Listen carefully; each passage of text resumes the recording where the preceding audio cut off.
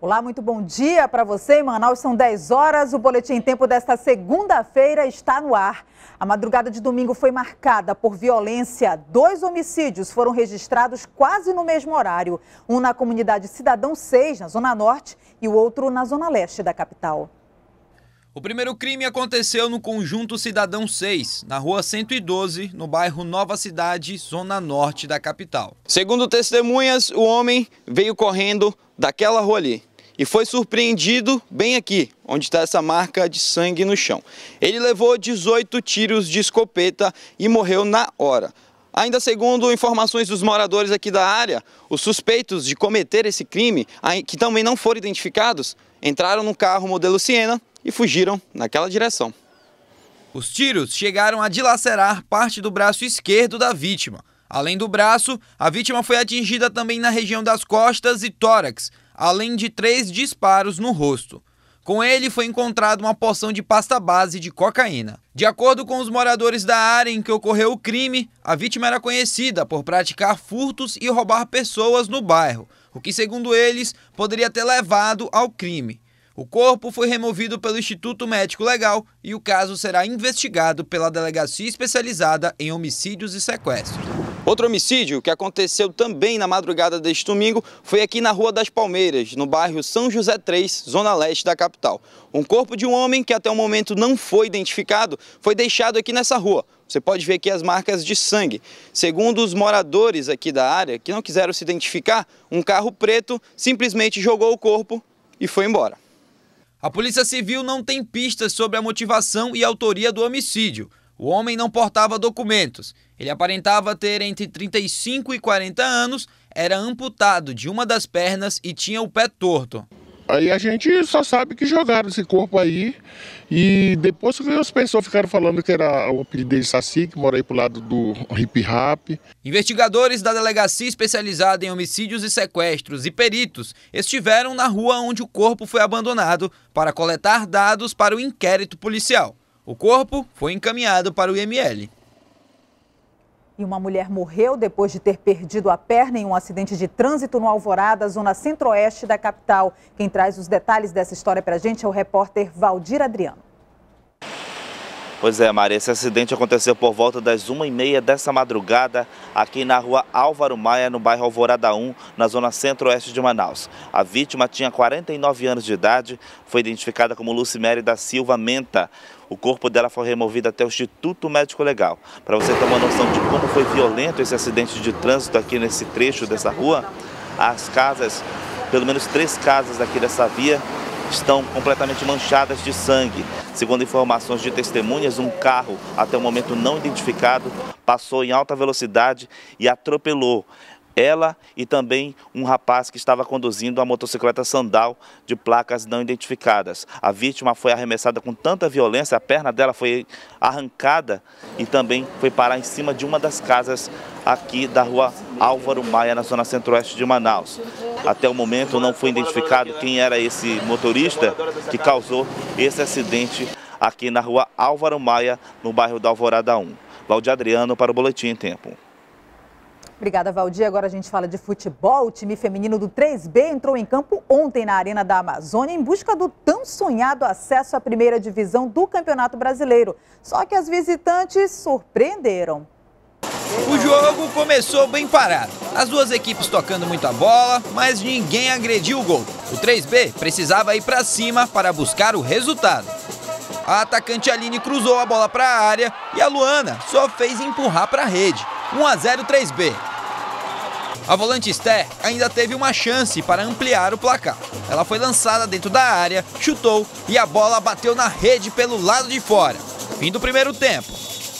Na volta do intervalo, o jogo permaneceu morno. As duas equipes voltaram a tocar muito a bola, só que o ICESP precisava buscar o jogo. A vitória por 1 a 0 levava a disputa para os pênaltis, só que o castigo veio nos acréscimos. Novinha foi lançada, chutou cruzado e fez o gol de empate. 1 a 1. No último minuto de jogo, a esperança do 3B estava nos pés da zagueira Nájila, que tinha uma cobrança de falta de frente para a área.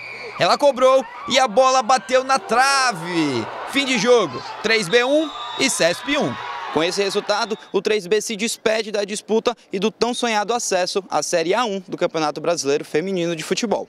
A gente sabia que 1 a 0 é um placar muito perigoso. Tudo bem que é para pênalti, mas a gente teve a oportunidade de matar o jogo. E tem no ditado, tem no futebol. Quem não faz, leva.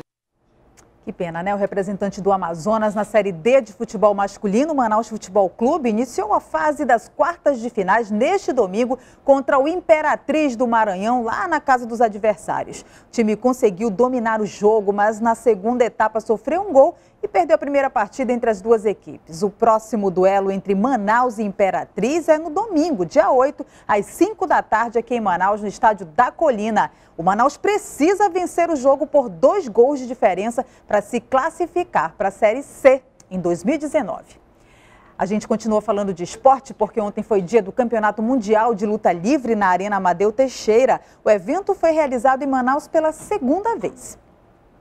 Manaus recebeu pela segunda vez o Campeonato Mundial de Luta Livre Esportiva e para vencer é preciso muito treino e dedicação. A competição reuniu atletas de vários países. O Tom veio dos Estados Unidos e promete ser uma das surpresas. A preparação foi muito intensa já desde o ano passado, todos os atletas treinando bastante. A gente escreveu 58 alunos e o Tom é um aluno de um aluno meu, né? Veio de Oregon, Estados Unidos e veio abrilhantar também com a gente o, o, evento. O Campeonato Mundial de Luta Livre Esportiva este ano tem uma novidade, que é a categoria Kids, com atletas de 2 a 15 anos. Aqui está acontecendo o segundo Campeonato Mundial de Luta Livre Esportiva.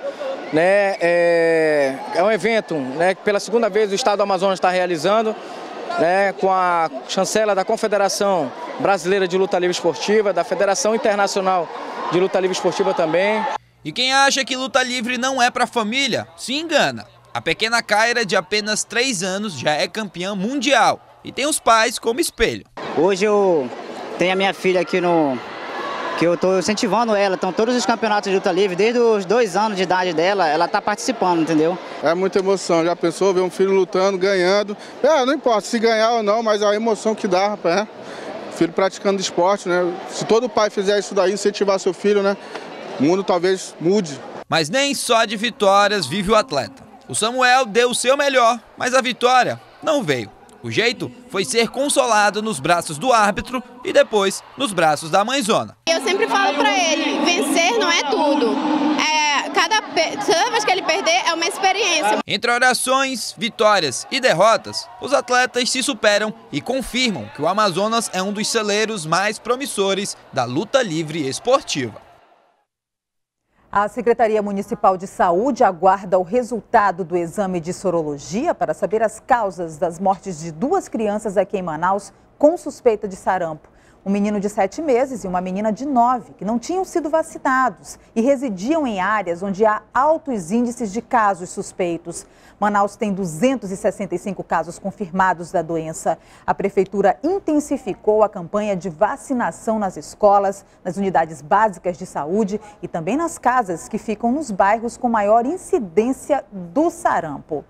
Olha, Márcia Lasmar já está aqui no estúdio, porque daqui a pouquinho, às 10h50, tem programa agora ao vivo. Muito bom dia, Márcia. Quais são os destaques de hoje do programa agora? Mariana Rocha, a gente segue aqui nessa árdua missão de, de comunicar, de trazer informações durante o jogo do Brasil, né? A gente tá com o olho, tá igual gato com o olho no, no, peixe, com o olho no gato e outro no aquário, sei lá é como verdade. é que é. A gente tá aqui com o olho aqui do jogo e outro aqui trazendo as informações para você. Olha, a gente vai trazer notícias de Tefé, infelizmente o programa da comunidade de hoje tem muita coisa boa, mas tem também muitas notícias tristes, principalmente de polícia um homem de 44 anos, foi preso lá em Tefé, acusado de ter molestado uma criança de 7 anos. Familiares da menina flagraram-no no momento em que ele estava molestando essa criança. Ela foi submetida a um exame de corpo de delito que confirmou que houve ali uma conjunção carnal. Infelizmente, é um destaque que a gente vai trazer de polícia para você que está acompanhando o nosso programa da comunidade. Vamos trazer também informações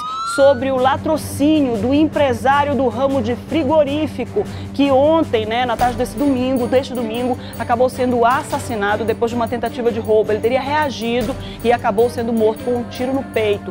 Momentos depois dos dois assaltantes terem atentado contra a vida desse empresário, eles foram presos já numa distribuidora, assaltando também essa distribuidora. Acredite, foram presos em flagrante estavam com 13 mil reais dessa distribuidora e já foram entregues, é, estão à disposição da justiça. Infelizmente, a gente traz esses dois casos aí para você que está acompanhando o nosso programa da comunidade, mas tem coisa boa também, como eu disse. Hoje tem um na minha casa agora especial do Jogo do Brasil. O Emerson Santos está acompanhando esse momento da partida do Brasil aí que está jogando. A gente está aqui também na torcida, aqui acompanhando, esperando por esses gols. E a gente vai trazer detalhes durante o nosso programa da comunidade. Começa às 10h50, Mariana.